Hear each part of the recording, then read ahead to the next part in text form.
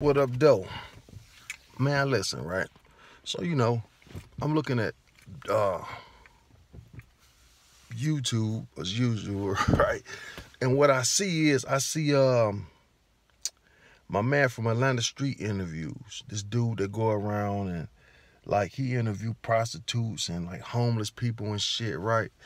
And man, look, man, I been knew this dude was like a weirdo. He like a pre prey on weak motherfuckers. Like I been knew it, man. You know, I, I used to watch him. I used to, you know, and, and, and, listen to some of the interviews. I'm like, man, this nigga tricking with these bitches.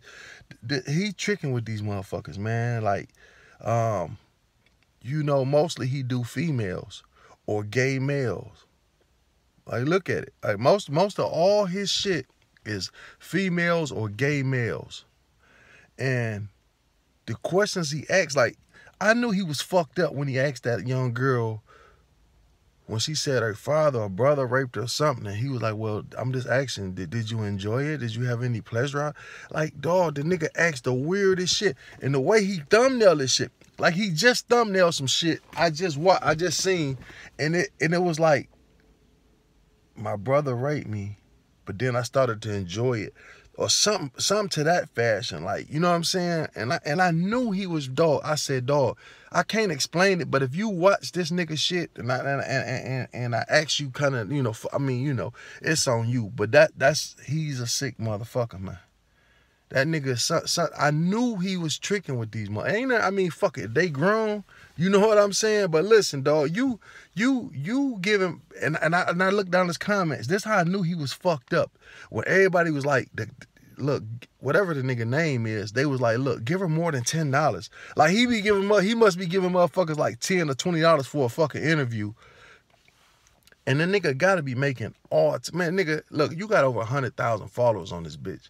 And you and you doing content 30 minutes or better, hour, some shit like that, nigga. You running up a bag, my nigga. You getting to some money. You know what I'm saying? You making you making I can't say, but you making some good ass money. And the thing is, like, I look at soft white underbelly. And I be looking at that shit. Mark, what's his name, the white guy. He a weirdo too, but I like Mark. At least Mark help motherfuckers. Like, you know what I'm saying? He's a multi-millionaire. I, I believe from what I heard. He getting money. He got one point something million, maybe two million followers on YouTube. He got good content, but he's a weirdo too. He got weird ways of going out. You know, you, you would think he would be tricking with these motherfuckers too. The way he talk and ask certain questions and you be like, man, these motherfuckers is weird. Like they take the homeless and damn near prey on them. Not one, like I say, I gotta give it to Mark because he go out his way to make sure people he didn't send people to school, man. Then got motherfuckers apartments. So if he is tricking with these motherfuckers, he looking out. You know what I'm saying? And um, which I doubt. I'm not putting that on him. Maybe he just a guy, like he say, he care. He, you know what I'm saying? He Mark out there in California, he think he can change the world and which you know what I'm saying, you know, you he'd go broke before he changed anything out there, you know. But I but I, I can tell he actually care about the community, my dog. Like, you know what I'm saying? But he a little weird though. You know, I gotta say that say that about him. He come across as a little uh trickerish. You know, you know what I'm saying? Now uh now this motherfucker out of Atlanta though, he's a straight um animal. He a predator, my dog. I'm telling you that off bail. He a predator. And the bitch just came out now and, and said it. Like, hey, this nigga tricking. This nigga tried to trick with me, had me come to his house to take a shower and this and this, and he and he wouldn't even give me fifty dollars. Like he he you know what I'm saying? He done fucked the bitch and don't even want to give her the fifty dollars. Like he, he, I knew he was fucking these motherfuckers. I knew man, and I, I said, dog, this is a sick nigga.